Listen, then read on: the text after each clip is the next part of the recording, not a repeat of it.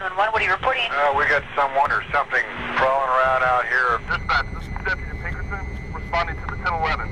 With horse and Zacho, there's a massive footprint out here, and it is not a bear. They searched for him for days, but eventually the search had been called off. I knew then I wanted revenge, but on what? What exactly killed my dad?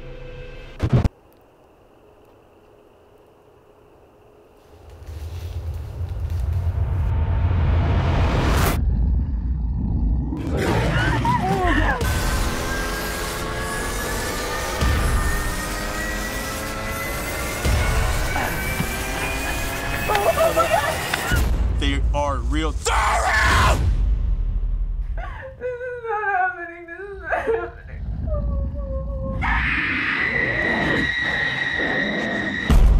It's not just one. It ain't just two. You have to kill them all.